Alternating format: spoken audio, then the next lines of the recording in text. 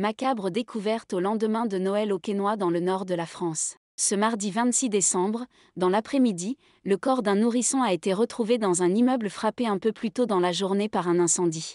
La découverte a été faite dans un sac présent dans l'immeuble sinistré du centre-ville. Lors des fouilles approfondies par les pompiers pour sécuriser le site, ils ont découvert un sac, d'où se dégageait une très forte odeur avant de retrouver dans celui-ci le cadavre d'un nourrisson. Les pompiers cherchaient dans les appartements à côté si le feu n'a pas pénétré.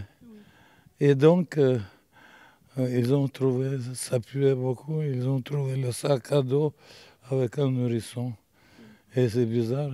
Pour l'heure, les circonstances du décès du nourrisson ne sont pas connues.